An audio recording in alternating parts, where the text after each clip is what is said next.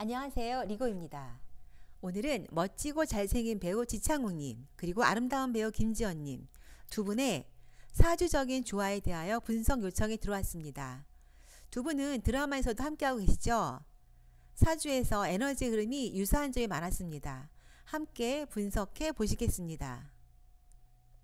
지창욱님은 사주에서 아름다운 꽃입니다. 꽃은 적응력이 뛰어나고 함께 어울리기를 좋아합니다. 김지원님은 사주에서 큰 산입니다. 어디서나 구심점이 되어주고 사람들에게 신뢰를 주는 존재입니다. 큰 산과 아름다운 꽃은 잘 어울립니다. 그런데 지창호님은 사주에서 핑크색 하트가 세 군데나 있습니다. 인기를 의미하는 글자인데 세 개나 있습니다. 잘생기고 인기가 많을 수밖에 없네요. 그리고 김지원님은 파란색 하트로 표시했는데 이 글자는 볼수록 매력을 느끼게 하는 글자입니다. 두 분 모두 인기와 매력을 듬뿍 가지고 있습니다. 두 분은 사주에서 포인트가 분명한 좋은 사주입니다. 지창호님은 자신과 같은 에너지가 가운데 에너지로 아웃풋되어 모여들고 있습니다. 사주 구조가 매우 심플합니다. 그리고 별로 표시한 글자들은 태양과 달을 의미하는 글자이기도 한데 밤이고 낮이고 언제든 빛나는 존재라는 의미입니다. 조명을 많이 받는다는 의미도 있으므로 사람들의 주목을 많이 받게 되는 구조입니다. 타고난 연예인 사주입니다. 김지원님은 에너지가 흐르고 흘러서 별표를 한 곳으로 모이고 있습니다. 타고난 연예인이요. 사업가 사주입니다. 과연 별표는 무엇을 의미할까요? 다음 사진에서 세밀하게 살펴보겠습니다. 지창호님은 자신감이 강한 분입니다. 그런데 아웃풋 되는 에너지도 막강합니다. 아웃풋 되는 에너지가 불에 해당됩니다.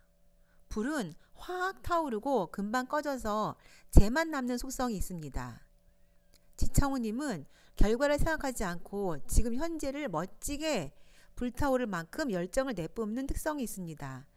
멋진 연기가 나오는 이유가 여기에 있습니다. 하지만 불은 금방 꺼지는 특성이 있으므로 심리적으로 가끔씩 허무감을 느낄 수가 있거든요.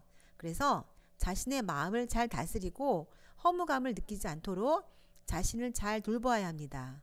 명상도 좋습니다. 그리고 활동의 결과인 재물도 잘 관리하는 게 좋습니다. 김지원 님도 자신감이 어마어마합니다. 에너지 아웃풋이 좋아서 자신을 잘 표현합니다. 그리고 별로 표시한 곳은 재물을 의미합니다.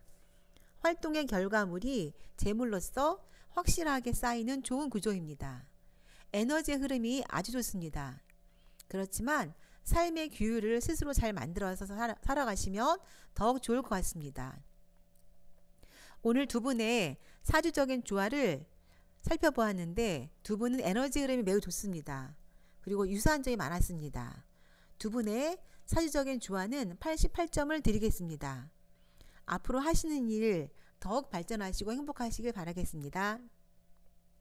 네이버 블로그 리고의 사주명이 오시면 더 자세한 내용 읽어볼 수 있으시고요. 상담 문의는 제 메일로 가능하십니다.